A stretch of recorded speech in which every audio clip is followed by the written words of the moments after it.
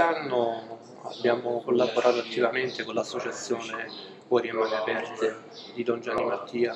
Ci siamo incontrati all'inizio del mio anno sociale a settembre e c'è stata subito una comunità di utenti. D'altronde quando si ha a che fare con i bambini è difficile eh, dire di no. Abbiamo fatto un bel concerto a Natale con una raccolta fondi con la quale abbiamo donato all'associazione un ventilatore pediatrico trasportabile eh, per la bimbulanza che Don Gianni e la sua associazione utilizzano per il trasporto dei bambini.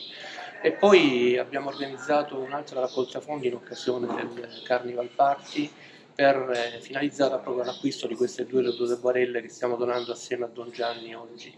E molto emozionante devo dire è stata questa giornata che ancora non è finita, adesso consegneremo praticamente queste due due barelle e ringrazio ancora tutti i nostri soci Lions, tutti gli amici, tutti coloro che hanno contribuito per realizzare tutto questo.